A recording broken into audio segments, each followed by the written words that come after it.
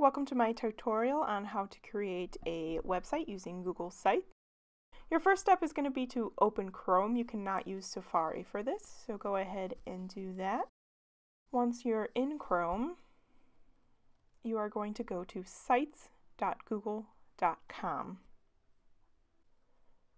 Now we want to go to the new part of Google Sites, but to do that, you can see it's not really an option there. We're going to request the desktop site. So if you open up the three dots on the right and say request desktop site, all of a sudden you'll see an option for new Google Sites. Once you're in new Google Sites, you're going to create your website and give it a name. So click the little plus button. You can dismiss any messages that come up because it does actually work. And you're going to give your site any old title you want. For my site, I'm just going to call it Miss Dadabo's History Project so I can easily know what it is.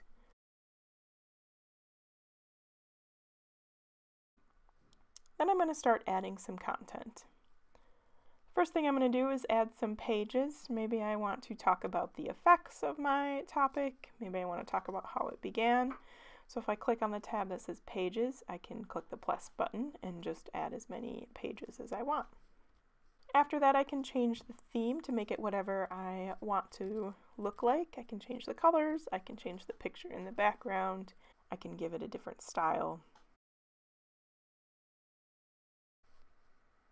My next step is going to be to add layout options. So if I want to have a lot of pictures with some text under, or maybe I want to just have text, whatever you want, you can change the layout.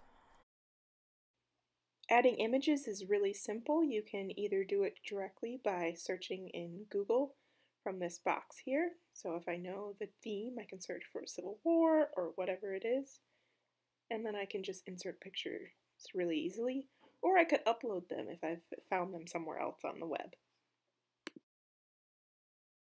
Adding text is also really simple. If you click on the text box and then the edit pencil, you can type in whatever you want.